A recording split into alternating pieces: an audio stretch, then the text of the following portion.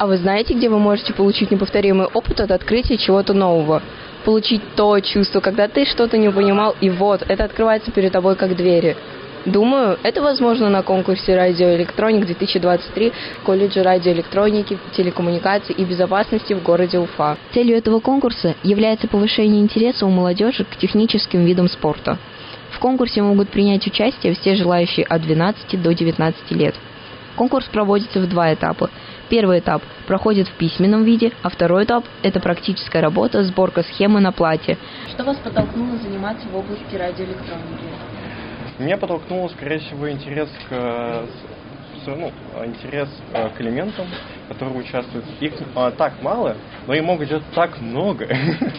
И это невероятное ощущение того, что, а, что ты можешь даже не видеть этих крошечных, а, крошечных элементов. А, они могут быть меньше а, любого твоего инструмента, но при этом они могут выполнять все, все твои задачи, которые они только могут Э, осуществить. Потенциал их ну, безграничен сам по себе. Я еще с детства увлекаюсь радиоэлектроникой. Это для меня было все время интересно. Этот колледж мне открыл больше путей для изучения э, радиоэлектроники. Были ли какие-то запоминающиеся моменты при изучении радиоэлектроники? А, было, когда полил первый светодиод. Я просто пыхнул. И тогда я понял, что ну, мое время настало на парах было весело. Ну, то есть э, это не только постоянно зубрежка писать, писать, писать, но и практика. То есть э, мне обычно запоминается практика. Носков очень хорошо практику преподает. Все время поможет, э, объяснит. Этому конкурсу уже много лет, и существует он благодаря энтузиазму педагога Уфимского колледжа радиоэлектроники, отличника образования Республики Башкортостан Носкова Владимира Витальевича.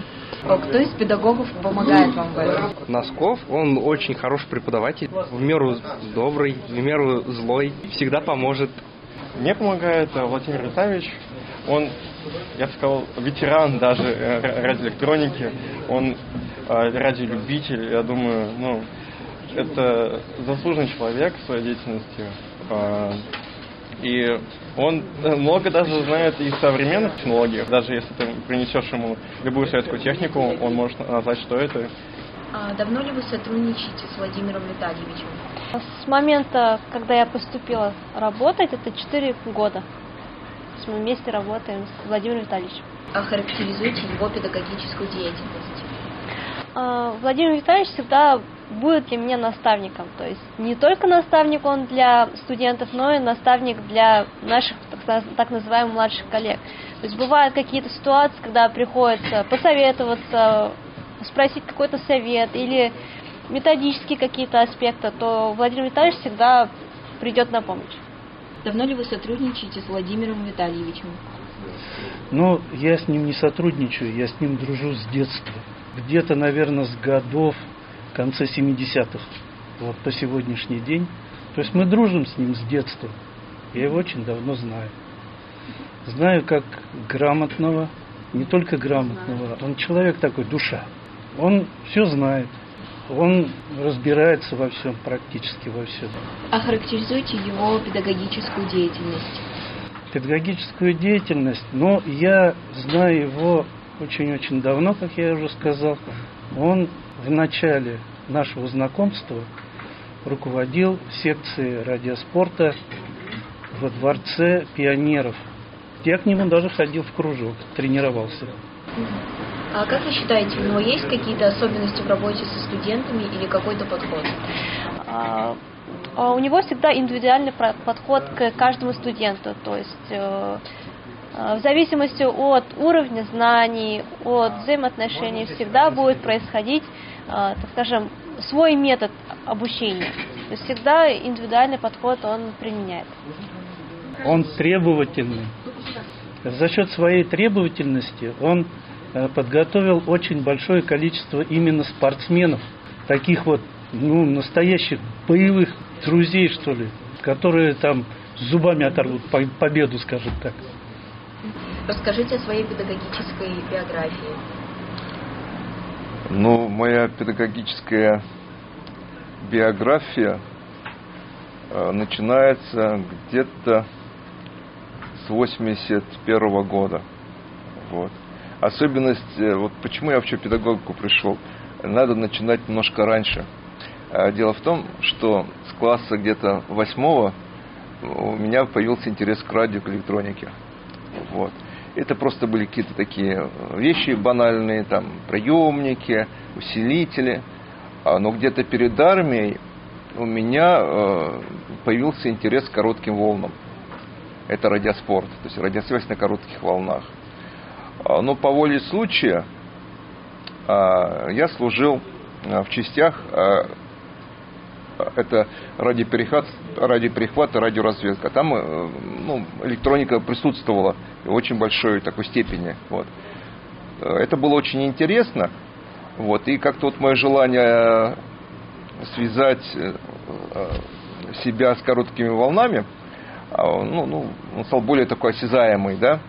Значит, после армии я получил первый позывной, вот радиолюбительский.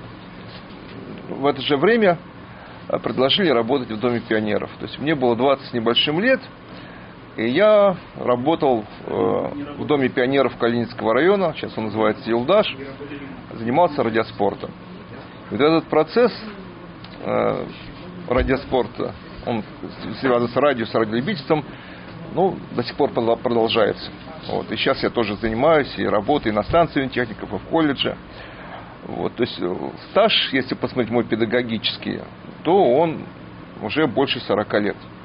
А что мне вообще нравится в радиоспорте, когда я вижу большое количество ребят, девушек, которые занимаются тем, чем и занимаюсь я, мне как-то это хорошо. Вот. Приятно, я вижу смысл в том, что я делаю. Вот. Сейчас а, я, конечно, в Доме пионеров уже давно не работаю. Я работаю преподавателем а, в колледже радиоэлектроники. Но, тем не менее, и радио, а, то, что я делаю, это интересно. Вот. Но это уже на профессиональном уровне. Если радиолюбительство было по увлечению человека, то здесь э, какие-то такие формы уже осознанные. Человек получает специальность. Вот. Что еще я хочу сказать? Э, я думаю, что то, что со мной произошло, я пришел в радио и занимался педагоги, занимаюсь педагогической деятельностью, это вполне закономерно и так должно было быть. То, что это я вижу и делаю, для меня имеет, по крайней мере, большой смысл. Можете ли вы вспомнить какую-то интересную историю из вашей педагогической деятельности?